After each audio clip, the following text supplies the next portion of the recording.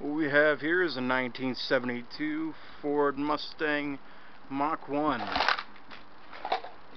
It's been sitting for several years and it's gonna we're gonna get it going again.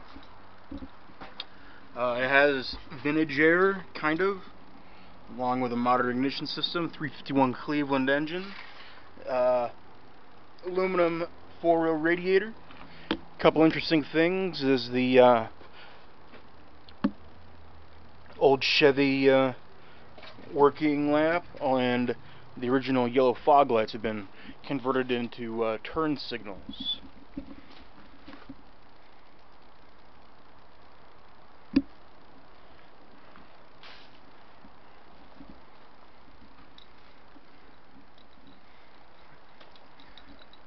Um, the body had had some work to it.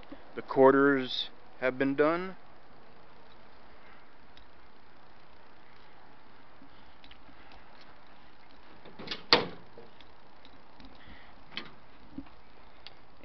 And the floor has been done.